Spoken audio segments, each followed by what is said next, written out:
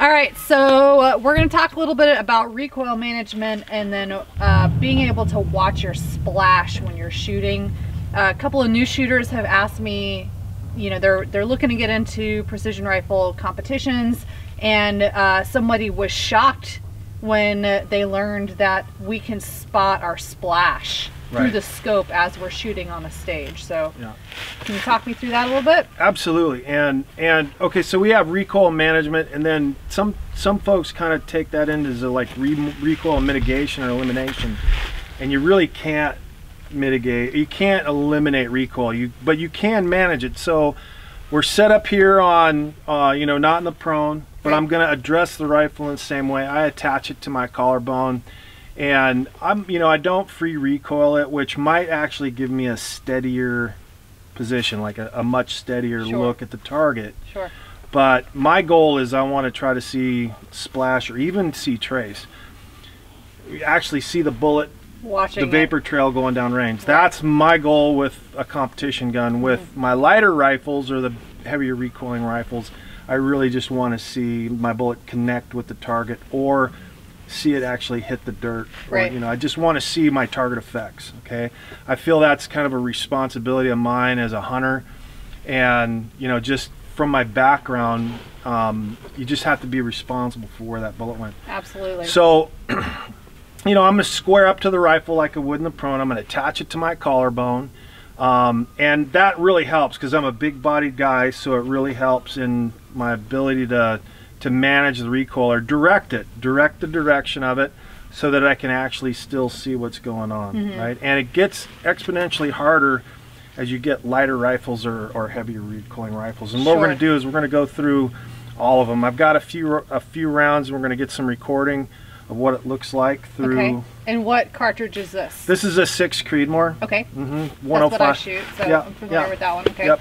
And um, so again, it's one of those things where when I get behind the rifle, I want to be really square to it, and I'm going to attach the rifle right on my collarbone, right underneath my dominant eye. Sure. So I'm basically, if you, I'm, I'm in this position here, and if you took this and made it look like the prone, it would it would change. Okay. Right, the way Yeah. I address the rifle. So, and what I'm going to do with my my left hand is I'm going to kind of push down on it, not up here on the on the scope because you can actually deflect where you see where Right. the scope's looking. Yeah.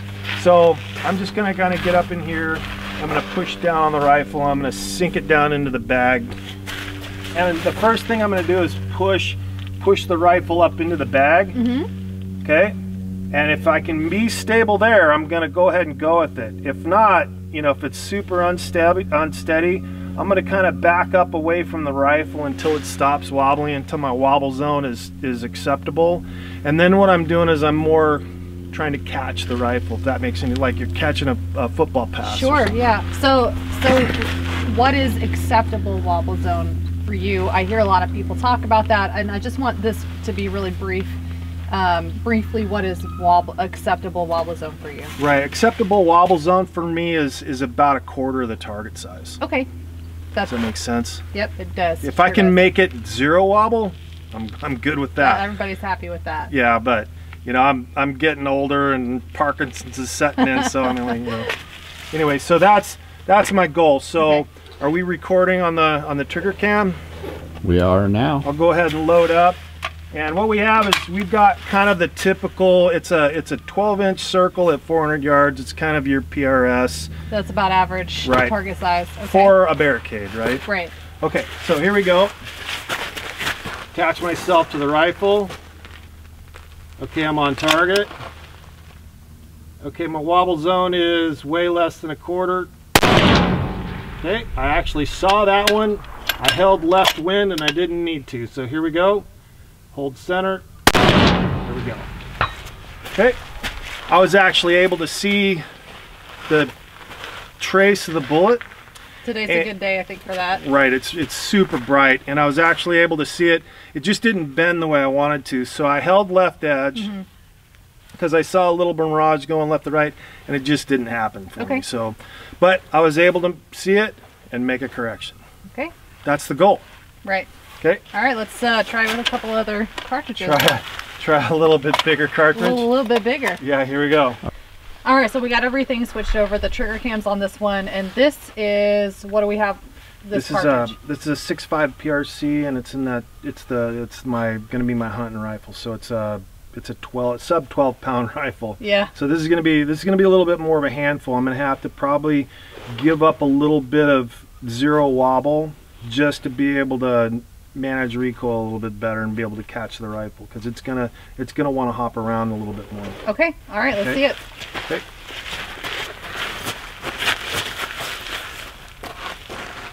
So it looked like the target kind of turned to the right a little bit.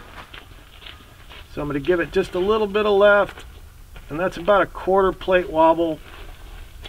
Okay. Not bad. That was pretty centered up. Okay. As you can see, it's it's a little livelier. Yeah. Well, a little bit. Okay, we'll switch the trigger cam over to um, the 300 Win Mag. Okay. Yep. Let's do it. And then we'll try that guy. That's going to be a little bit more lively yet. So that's pretty big. That's really big. Just the bu- It's, The it's bullet- ridiculous, isn't it?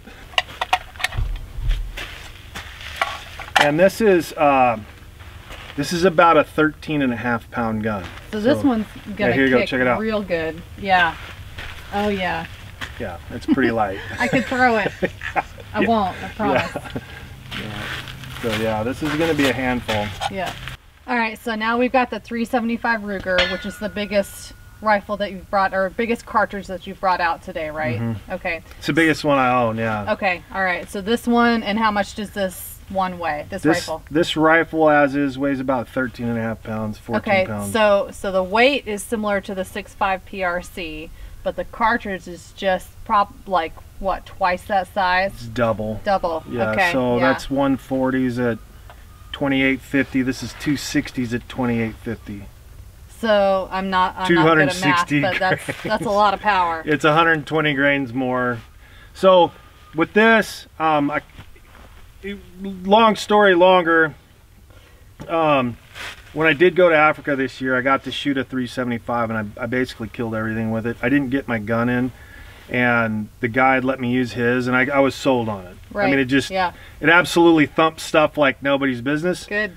Um, and this is uh, 260 grain AccuBond, so Okay. pretty neat bullet. It's about the same ballistics as a 308. Okay. Oh, So- okay. All right. Right. So so let's see you do it, and then when you're done, I I want to give it a go. Okay, All all right. right, here we go.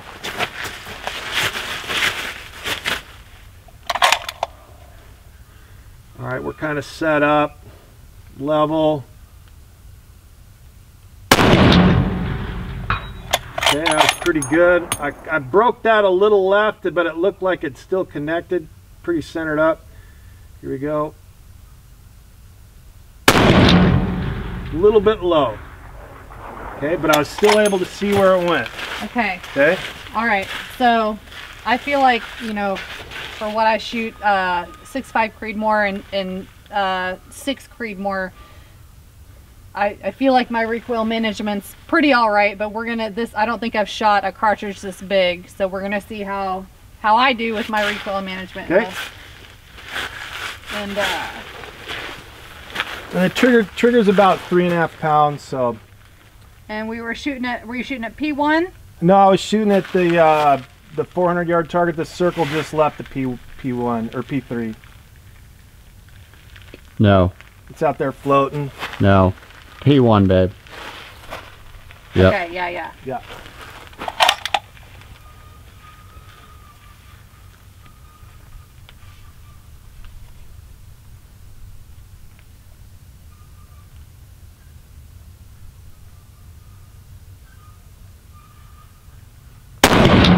You go. All right, so I feel like that that kicked me pretty good, but I was able to come back. Like I feel like the the recoil for that was straight up, and then I resettled right back where I was. And you were able to see And- it. I was able to sit. Uh, I I just missed it. I think with a few more a few more more rounds tries, and get yeah, used to it, yeah, I'd be able to do yeah. it. But It's pretty lively, isn't it? it, it's it's it, you know it wasn't as bad as I thought it would be, Right? which is good. Um, but it but it was still still pretty lively. I I don't know. I don't know how many rounds I could go on that one.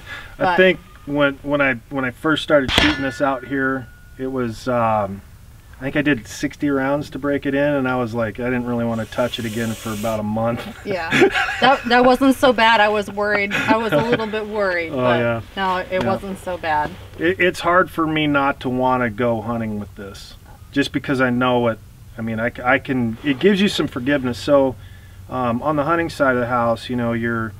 We talk about ethics. We talk about you know shot placement. Shot placement trumps energy.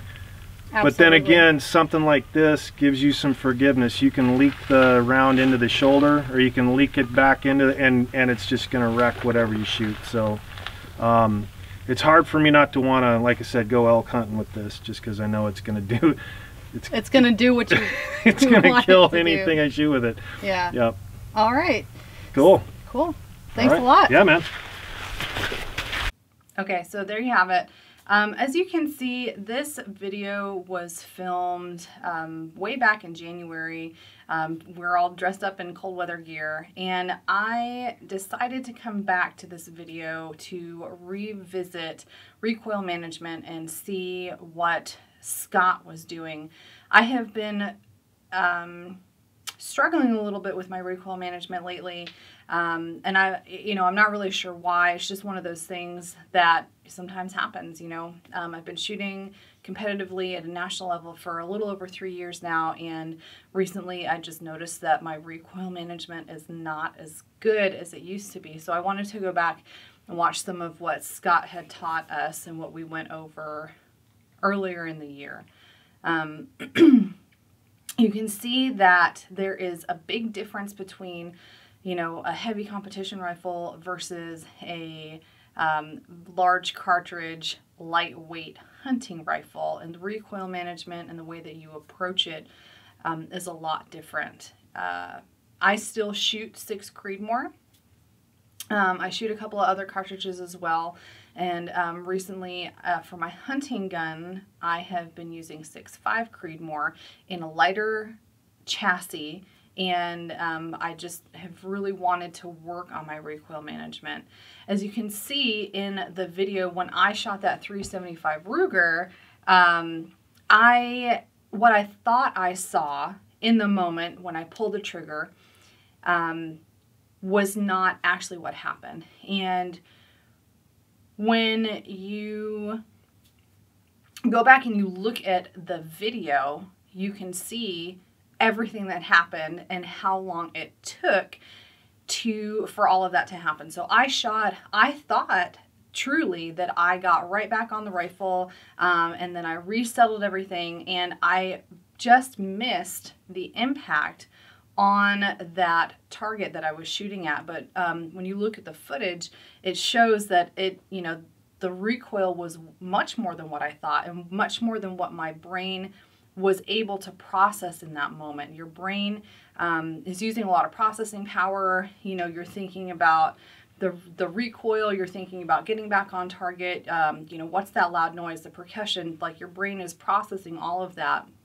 And your brain only has so much processing power to do that. Whereas the trigger cam, which is a wonderful training tool, video is such an excellent training tool. It doesn't lie, it is what it is. Um, the trigger cam showed that I came off way more than I thought that I did. Now I did resettle, I was able to see the splash of the impact, um, but it wasn't as fast as I thought that it was initially. So recoil management really takes a lot of uh, time and you have to practice a lot to train your brain uh, to be able to see what is happening through all of the you know the trigger press and the recoil and the percussion. Um, it really just takes a lot of time and practice to be able to get to see the splash if you miss or the splash um, of the impact when you're shooting. So um, I hope that this video helps you guys out a lot. Um, again, revisiting this for me was pretty helpful. I'm going to go back and employ some of the stuff that Scott talks about in the video. and um, you know just get back to work on training. So if you have any questions please leave them in the comments below.